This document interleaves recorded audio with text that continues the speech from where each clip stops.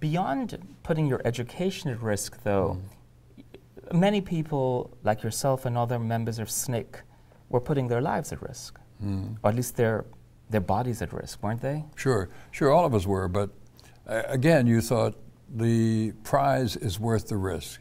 The prize was to eliminate the segregation system that just did so much harm to black people in the southern part of the United States and would do harm to me, was doing harm to me. It cheapened the worth of my college degree. Under the system, my education at Morehouse College wasn't as good as an education at the University of Georgia.